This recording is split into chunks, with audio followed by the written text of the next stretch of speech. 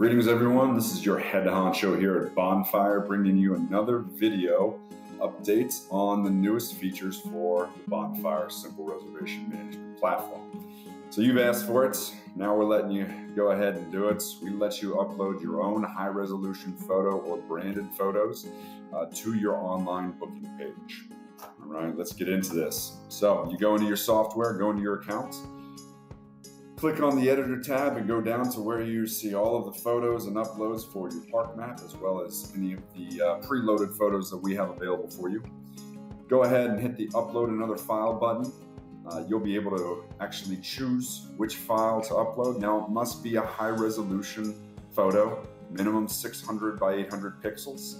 Uh, this will allow you to have a photo that's not blurry uh, and high quality for your guests.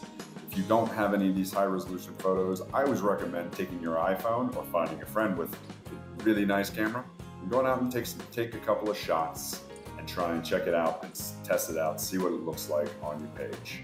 Uh, that type of technology, cell phone technology, has great cameras, so it's a cheap and easy way for you guys just to solve this problem.